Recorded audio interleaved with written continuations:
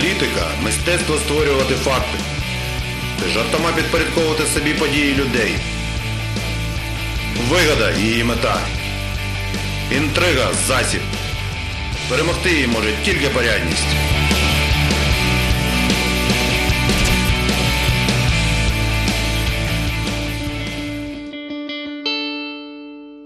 Добрий вечір, шановні глядачі. В ефірі програма в деталях. І як завжди, ще п'ятниці з вами Андрій Острів та Ігор Пох. Добрый вечер. Сьогодні ми будемо продовжувати тему стосовно наших доріг. Е, е, Черговий раз наша область за- засвітилась е, ну, в досить негативному світі, але, але, а що але, давайте подивимось сюжет і ми зрозуміємо, про що прийде мова.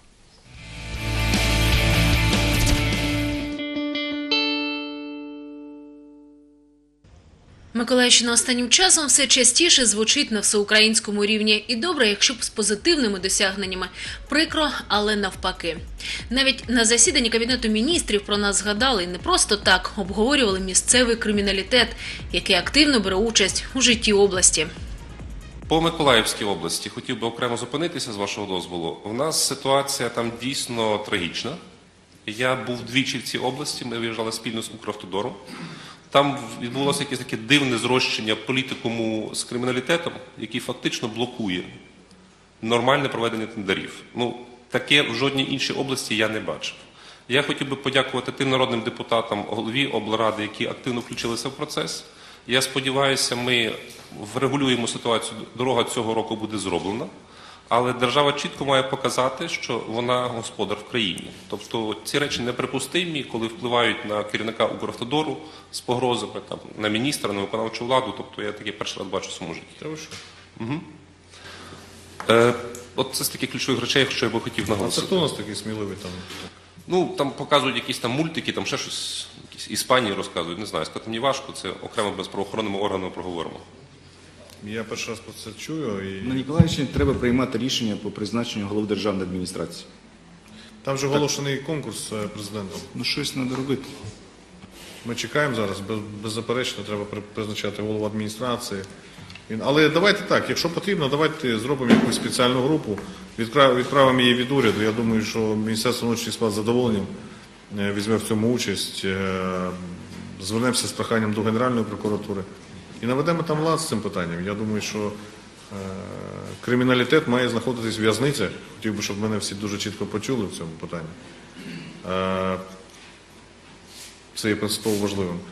До речі, про ремонт траси Н-11. Шанси зробити її в цьому році тануть як сніг навесні. Приватне підприємство Південь Дортех подало заяви про вчинення кримінального правопорушення до Національного антикорупційного бюро та Генеральної прокуратури України щодо скасування результатів тендеру на проведення ремонтних робіт.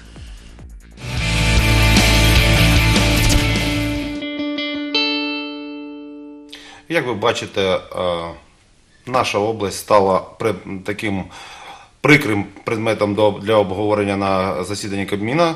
Можливо, якісь будуть е, зміни. А сьогодні ми запросили в гості е, народного депутата України Олександра Жолобецького, який, власне був присутнім на цьому засіданні. Більш того, це е, один із тих депутатів, які старанно вибивали ці дорожні, так би мовити, гроші на нашу область. І, власно, на- на- напевно, Олександр це та людина, яка е, одна із найбільш е, переживає про те, що турбується про те, щоб ці гроші були освоєні.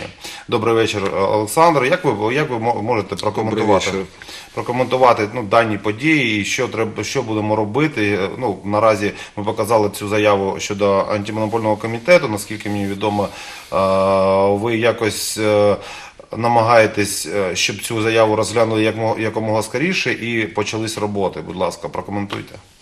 Я действительно был на заседании этого кабинета министров и поехал туда с одной лишь целью. Понимая всю ситуацию, сегодня сложившуюся в Николаевской области, я бы сказал, э, всю э, ту ситуацию, э, которая не только сложилась с дорогами, а с дорогами это та тема, о которой мы сейчас поговорим, но и те криминальные события, которые происходят, к большому сожалению, в Николаеве, Николаевской области практически каждую неделю. Если Э, Я, выступая на кабине, сказал, что если вы включите телевизор, кабин проходил в среду, то сегодня с утра опять звучит э, в негативном, э, весь негатив о Николаеве и о Николаевской области.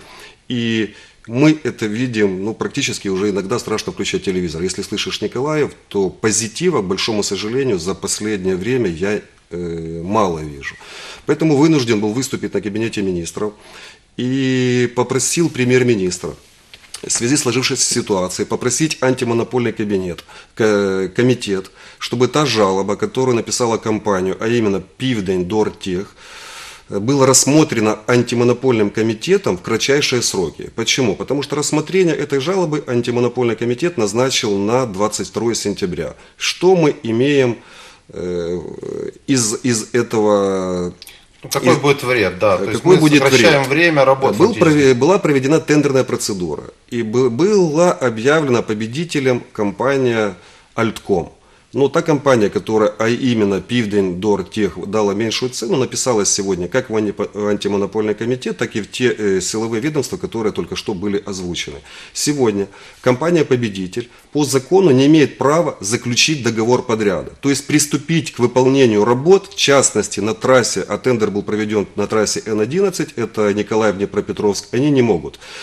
И блокируется работа как минимум до 22 сентября. Если 22 сентября будет удовлетворен, есть два варианта. Или э, значит, жалоба будет рассмотрена и предприятию будет отказано в их требованиях, чтобы отменить результаты конкурса, результаты тендера. И второй вариант эта жалоба будет удовлет- удовлетворена, и мы выходим на новую процедуру э, уже по системе Прозора тендерных, э, тендерных закупок. повторный тендер будет со всеми вот этими- Что мы имеем? Сегодня у нас э, 2 сентября, 20 дней до решения антимонопольного комитета. Я не берусь сегодня говорить о законности, да, кто там прав, кто виноват, это пусть рассматривает антимонопольный комитет. Я говорю о э, времени, которого у нас нет. Сегодня парадоксальная ситуация. Мы год и не только я, на самом деле э, боролись за то, чтобы Николаевской области выделились деньги. Это начиналось еще с предыдущего премьер-министра и сегодня с нынешним премьер-министром. Мы общались неоднократно с Укравтодором, э, были, общались э, с кабинетом министров и со многими теми, от которых зависит эта проблема. И вот на Николаевскую область сегодня выделено порядка 600 миллионов. Есть деньги, не можем приступить к работам. Поэтому просьба моя была, и премьер-министр взял это под личный контроль, чтобы антимонопольный комитет, и он имеет на это законное право, рассмотрел эту жалобу в кратчайшие сроки. Сегодня уже я созванивался, и премьер-министр меня поддержал и поручил, э, поручил, э, попросил, поручил антимонопольному комитету рассмотреть э, це подання. Поэтому сегодня уже я вот до передачи разговаривал с Шульгой, это у нас начальник Службы автомобильных службы дорог. автомобильных дорог Николаевской области. Документы все готовы, находятся в Киеве, и где-то в этот момент они сейчас уже, я думаю, что передаются или переданы в антимонопольный комитет. До прихода в вашу студию я звонил Терентьеву, это у нас глава антимонопольного комитета, который сейчас на- находится на каком-то совещании. После совещания обязательно перезвонит. Опять же, буду просить, чтобы, если не сегодня, то в понедельник рассмотрели эту жалобу. И как только она будет рассмотрена, в зависимости от результатов, мы будем двигаться дальше. Но нужно двигаться вперед. Если мы не будем этого делать, то ситуация мы прекрасно понимаем, уже осень, дальше начнутся морозы, дальше зима, и мы выйдем еще в худшую ситуацию, чем была в прошлом году. А в прошлом году мы прекрасно знаем, это и перекрытие трасс, и люди на самом деле сегодня в Николаевской области доведены до отчаяния. Я дважды э, прошлой зимой, э, весной выезжал на трассу Н-11, я встречался с людьми, я видел их настроение. Поверьте, что объяснять сегодня людям, что кто-то подал какую-то жалобу, и мы не можем приступить, имея деньги, ну, я не думаю, что люди захотят это слышать и на самом деле будут правы.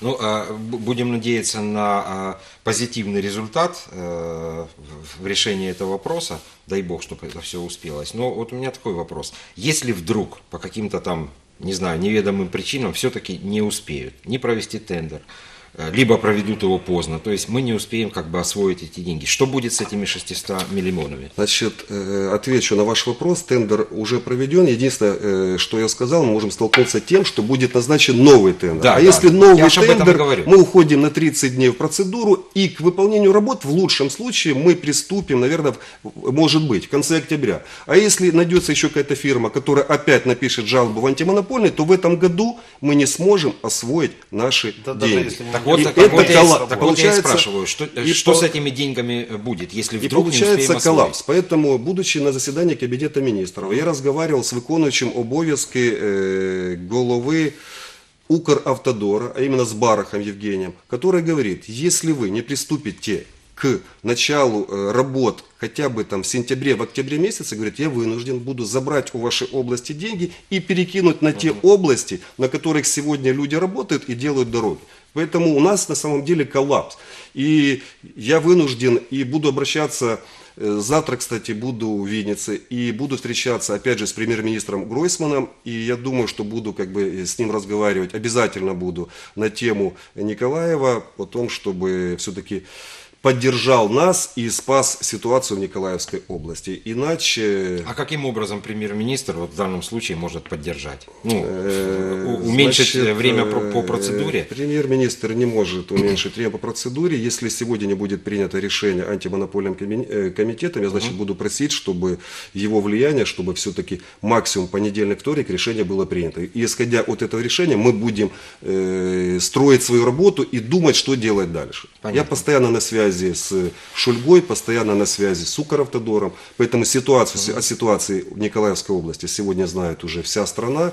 Будем максимально способствовать, чтобы все-таки вытянуть и спасти ситуацию. Потому что допустить то, о чем вы сказали, чтобы деньги ушли в другие области, ну, это, знаете... А потом опять их я не, собирать я не хочу об этом даже думать. Ну, будем надеяться на Сан лучшее. Саныч, ну, вот смотрите, такой вопрос вам. Вот получается, э, ну, собрались все, там, тот же даже уволенный Антощук, вы, еще ряд народных депутатов, глава облсовета, и мы как-то сконсолидированно собрали эти деньги, да, там, ну, какую-то, ну, то есть большая сумма, в принципе, была запланирована, да, на освоение. Порядка 600, там, больше 600, э, 600 миллионов, насколько 604, если я не ошибаюсь. 604 миллиона. Вот собрали, все как бы хорошо, но не смогли ничего, ну, не смогли их освоить. Фактически мы, ну, 604 миллиона мы точно уже не освоим, да, и это все понимают. То есть освоится Ну, какая-то Я часть. пока не буду так пессимистично настроен. Я все-таки надеюсь, что если... Вот давайте вернемся Да, к этой давайте. теме на следующей неделе. Если произойдет... Я не могу некоторые вещи там озвучить, потому что как не могу ни на кого давить, не могу говорить о том, что там вот эта фирма, которая подала хорошая она или плохая, давайте ей оценку. Но если будет принято решение, что будет победитель, то поверьте мне, что та компания, которая зайдет, времени хватит, у нее есть свои оборотные средства дополнительные, и времени хватит на то, чтобы освоить. Я в это очень верю и с этим живу. Хорошо.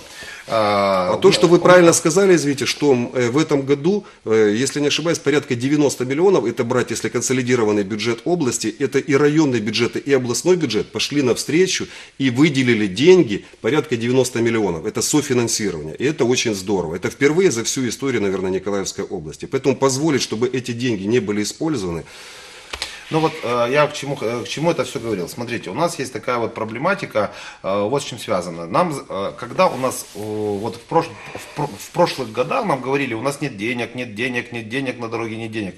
Вот сейчас деньги есть. Как вы считаете, в чем ключевая проблема? Почему вот, э, почему, когда даже деньги появились, их не, не удалось эффективно, эффективно использовать? Ну, там, в частности, некоторые, э, там, министр только что говорил о криминалитете, там, э, есть там определенные шатания в Укравтодоре, там, смена руководства и так далее, там, эффективность облавтодора под вопросом. Как вы, как вы считаете, в чем самая главная проблема, что это так вот эффективно не заработало? Ну, я считаю, что как бы, да, э, неэффективно по одной простой причине, что за это все отвечает руководство нашего облавтодора и с- э, Служба автомобильного с- э, САД, служба автомобильных, автомобильных дорог. И там действительно есть, наверное, свои какие-то негативные нюансы, когда, если месяц назад не смогли провести тендер на ремонт э, моста, по-моему, где-то в на Кировоградской трассе, если не ошибаюсь, где-то в Осиятском, да, потому что был один всего лишь заявитель, а сумма тендерных закупивель была 27 миллионов, Ну, значит, все-таки я... Не нашлось как- больше значит, да, что значит не готово? нашлось? Но руководитель для того есть, чтобы найти желающих, и чтобы уже бы, бы были начаты работы. О том, что был один заявитель, ну, я все-таки считаю, как бы, что это вина, наверное, руководителя. Поэтому о том, что говорил министр, что были ему какие-то звонки, я с ним лично разговаривал, и он мне э, говорил, что были были ему лично звонки с определенными угрозами, что он и озвучил на кабинет. Но это вообще нонсенс. Звонить уже министру и угрожать, что если будет так или не так, то вы за это там, не знаю что, я не был, не присутствовал при этом телефонном звонке, но с его слов он говорит, что это было. Было давление на, наш, на нашу службу автомобильных дорог. С его слов тоже были определенные Я звонки. сомневаюсь, что министр захочет попиариться на, таком, на, Ну, на я, так- такой истории. я с уважением отношусь э, к Амеляну Владимиру Владимировичу, поверьте, это тот министр, который действительно болеет как за страну, так и за державу. И э, учитывая то, что за последнее время, это за последние два месяца министр дважды был в Николаевской области, это говорит о том, что Николаев для него как бы, ну, Либо поверь- слишком по- много проблем, Николай. Поверь, ну, это много проблем, но не каждый министр поедет э, за два месяца дважды посетить Николаевскую область. А тем более такой министр, как министр э, ну, по старому транспорта, по новому, это министр инфраструктуры. Вторую поездку мы вместе с народными депутатами и Тарасом э, Кременем, Игорь Бриченко, мы его просили выйти на место, разберитесь на месте, посмотрите на то, что происходит в Николаеве. И он был э, через 4 дня выполнил свое обещание и был в Николаевской области. Хорошо. Э, Как вы считаете, э, вот, вот есть сейчас проблема, да, там, ну, комплексная проблема, да, одна часть связана с э, тем, ну, с незадовільною работой, да, там наших, э, имеется в виду службы с автомобильных дорог о- о- облавтодора, да, которые по каким-то причинам там не, не могли что-то провести и так далее, да, то есть, ну, грубо говоря, организационная часть. А вот э, часть, в части, которая касается вот, вот этих неформальных влияний на власть, вот этот вот э, остращивание криминалитета, как вы бы могли это прокомментировать? Вот, э, вот э, хорошо, давайте поставим вопрос по-другому. Вот вы лично как- как-нибудь сталкивались как, как депутат народный с такими, с такими, с такими вещами? Но мне никто не звонил и никто И не, не угрожал. И не угрожал, да. Если я как народный депутат, могу вам сказать за себя. Мне не звонили, не угрожали. Но то, что ситуация действительно патовая, и я об этом озвучил. После заявления премьер-министра я тогда взял слово и сказал, говорю, вы обязательно, говорю, возьмите под личный контроль и создайте, пусть это будет называться рабочая группа, пусть это, э, неважно, как ты назовешь, но обязательно в которую вошли бы силовые структуры, а также народные депутаты, которые по желанию, которые знают ситуацию на месте, и выйти в Николаев и наведите порядок. О том, что э, озвучил также тот момент, что в Николаеве Николаевской области. Сегодня уже там э, третий месяц нет губернатора. У нас сегодня нет замов губернатора. У нас остался один зам Вячеслав Бонь, который сегодня исполняет обязанности губернатора, который по закону не имеет себе права назначить даже зама. Э, Неделю назад, там, грубо говоря, был назначен начальник новой УВД по-старому, там, да, полиции. Там, два месяца назад, слава богу, назначили э, областного прокурора. Николаевская область звучит на всю страну. Нет губернатора, нет, не было прокурора, не было начальника УВД. Поэтому я думаю, те события, которые происходят, это следствие того, что нет руководящих, э, руководящих э, вернее, людей на руководящих постах От- отвечающих как раз конкретно отвечающих на- за эту сферу деятельности. И когда я не могу согласиться с тем, когда приезжает э, первый заместитель э, нацполиции Украины и говорит о том, что всех в течение суток уволить и набрать новую команду, ну, вы знаете, уволить это легче всего. Но где взять новых? Тому, что как бы может быть кого-то, если есть за что, давайте увольнять. Но есть люди николаевские, которые знают проблематику. Я с уважением отношусь к тому человеку, которого назначили. Но он не знает Николаева, Николаевской области. И он должен был кого-то оставить для того, чтобы хотя бы ориентироваться. Потому что назначить за 24 часа новых, ну это красиво звучит. Но в жизни вотворить, в жизнь вотворить, на, на самом деле это очень сложно. Да, опера, опера состоит... Опять же, состоит уволи, э, да, ушел, ушел губернатор. Но сегодня по закону про ДР-службу президент не имеет права назначить губернатора. Должен быть конкурс, который э, произойдет, э, пройдет 12 сентября. Потом еще будет время, я думаю, в лучшем случае мы получим губернатора, наверное, в конце октября. А до конца октября Вячеслав Бонь так и будет э, Самостоятельно. Всем. должность. Я скажу, что как бы ему не позавидуешь. Потому что каждый день сидит на работе до 11, до 12, только почты, да, там, ну, чтобы расписать, а кроме него никто не имеет права расписать почту. Но когда ему заниматься еще после этой почты, с утра приходит, а нужно еще заниматься областью. Поэтому я к нему с уважением отношусь, но это нереальная, нереальная нагрузка на одного человека. Что ж, давайте вернемся к нашим дорогам. Вот э, мы говорили про область, да? Областные дороги, э, вот э, то, то- то касательно там даже того же финансирования областного. Скажите, а для города мо- можно ли как-то получить финансирование государственное или только это из местных бюджетов? И ну, есть ли такие примеры?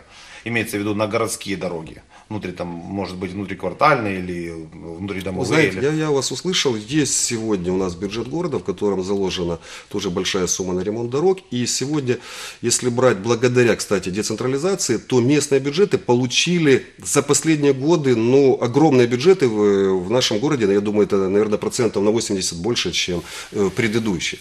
Поэтому деньги на ремонт э, дорог в го- городском бюджете есть, это раз. Второе, денег никогда не бывает много, это два. Поэтому и народные депутаты, которые э, скажем так, э, работают, а работают, наверное, все, э, тоже кто мог, то, если, извините за сленг, выбивает также для области, для города деньги. Мне удалось в этом году выбить по субвенции 12 миллионов, направил я их именно на город Николаев, 3 миллиона направил это на восстановление освещения, и освещение будет современное, установлено в микрорайоне Северный на миллион восемьсот, если не ошибаюсь, и на миллион двести еще как бы сейчас э, заканчивают проект, это будет по проспекту Героев Сталинграда там э, на некоторых участках. Также 9 миллионов я направил на именно внутриквартальные дороги и проезды. Один из таких глобальных проектов это Адмиральская 2.4, там есть э, несколько внутриквартальные проходы и проезды между несколькими домами. И я хочу в этом году сделать такой пилотный проект. Я хочу, мы хотим, э, чтобы сделать из брусчатки. Брусчатки не то, которые там говорили, что давайте старую поднимать там и как-то ее восстанавливать, а именно с брусчатки новой, э, красивой. И вот сделать внутридворовые проезды именно из брусчатки. А проходы уже непосредственно с асфальта. Я думаю, что у меня это получится. И это, может быть, будет такой первый, знаете, как эксперимент. И в дальнейшем, все-таки центральная часть города, я считаю, что нужно вот она на мой взгляд, должна быть вот бру- э, выложена брусчаткой. Ну, Тем я так думаю, что женская часть населения, которая там проживает Будет и ос- ходит на особый- каблуках, да, особый а у них будет особый шарм. по Поэтому, брусчатке. поэтому, поэтому я, когда говорил о брусчатке, я подчеркнул, что на проезды понял, будут понял. сделаны из брусчатки, а проходы будут сделаны из асфальта, учитывая то замечание, которое вы сделали, что женщинам по брусчатке на каблуках ходить, наверное, не совсем комфортно. Да. Ну, хотя те дороги сегодня, которые есть, им, наверное, все равно. да? Там в любом случае. Хорошо. Э, Ну, будем надеяться на, благо- на благополучный исход наших баталий касательно области. Спасибо большое за то, что вы участвуете и в городских каких-то программах. А, а Как вы, э, как вы считаете, как, вот, и- ну, вы, либо вы лично, либо вот этой группой Николаевщина, которая у нас есть, вы будете инициировать изменения в законодательные акты для того, чтобы в последующем вот такие вот возможные проблемы с теми же проведениями тендера, с теми же нормативно-правовой базой, потому что, ну, насколько я слышал, э, несколько компаний не смогли участвовать, потому что они имеют евре- европейские лицензии, они имеют украинские лицензии, были, э, не попали там участвовать в тендер. То есть вот такое, ко- вот такое коллапсирование старой, э, старой системы э, законодательной, которая была раньше еще, то есть, грубо говоря, сове- советского наследия, Э, Будете ли вы, вы участвовать как законодатель и вот в каком направлении, если будете? Значит, что касается тендерных процедур, то с 1 августа уже вся страна перешла на систему Прозора, и там есть тоже много нюансов, которые сегодня уже дают сбой. Поэтому нужно вносить изменения в закон о тендерных закупках, именно части как бы, да, системы Прозора, и это будем делать и мы, и другие народные депутаты. А еще, если брать э, именно дороги, то очень важно, чтобы в сентябре месяце Кабинета министров наработаны порядка 10 законопроектов, которые позволят э, системно улучшить состояние, в том числе и дорог в Украине. И если будет принят закон, на что я очень надеюсь, о дорожном фонде, э, что это даст? Это даст то, что мы сможем э, финансировать дорожную отрасль не по остаточному принципу, как это было, вот, к примеру, в этом году. Мы потом ходим и выбиваем чего-то там, вот, кому-то. Ну, это неправильно, да, депутат не занимается своей работой, мы вынуждены это делать, зная ситуацию. Но если будет принят закон о дорожном фонде, то мы тогда, и Николаевская область в том числе, сможем планировать мы будем знать в этом году, сколько будет денег на Николаевскую область в следующем году. А имея как бы финансовый ресурс и зная, сколько будет, мы тогда будем планировать, какие дороги мы будем делать. И знать мы это будем буквально в начале следующего там года, потому что при принятии бюджета мы уже будем, уже будет цифра, которая будет выделена. Поэтому можем и планировать, и заранее начинать тендерные процедуры, и чтобы если будут вот такие, такая ситуация, как сложилась в этом году, то мы сможем, у нас будет время, чтобы и в антимонопольном, если надо сходить в суд, и чтобы вовремя начать строительство дорог. У нас, как всегда, деньги есть, начинаем строительство дорог к концу года, да. Это неправильно. Поэтому очень надеюсь на консолидацию работы депутатов Верховной Рады, не в зависимости от политической принадлежности, на то, что примут те законы, которые сегодня очень важны как для Украины, так и для города Николаева. Если еще сказать несколько слов о дорогах Николаеве, то э, уже э, на протяжении полугода я убедил, если можно так, ну, не убедила, наверное, это неправильное слово, мы пришли э, к мнению, что с мэром Сенкевичем Александром Федоровичем и сегодня уже разработан проект на то, чтобы восстановить полностью и сделать э, проездной и проходной, это улицу Потемкинскую. И сегодня уже сделан проект, который уже, если прошел экспертизу или где-то на стадии завершения. И на следующий год мы будем закладывать уже деньги городского бюджета на улицу Потемкинскую. И также э, буду добиваться того, чтобы с государственного бюджета было софинансирование. И мы прекрасно все понимаем, если мы сделаем улицу Потемкинскую, мы разгрузим проспект, э, хотел сказать Лейна, не про центральный, центральный, и этим для горожан мы как бы э, улучшим как бы, про- проезды и наши Ну, проходы. бог. Поэтому в будущее смотрю с оптимизмом. Спасибо. На этой такой оптимистической ноте все-таки наш, э, у нас сегодня законодатели. Я надеюсь, что действительно эти слова будут услышаны, а главное реализованы. Что самое главное, спасибо, э, Александр Александрович, за то, что были с нами. С вами была программа в деталях, как, как всегда по пятницам. Ждем вас, э, ждем вас у, у- экранов. А на этом мы прощаемся. До свидания. До свидания, всего хорошего.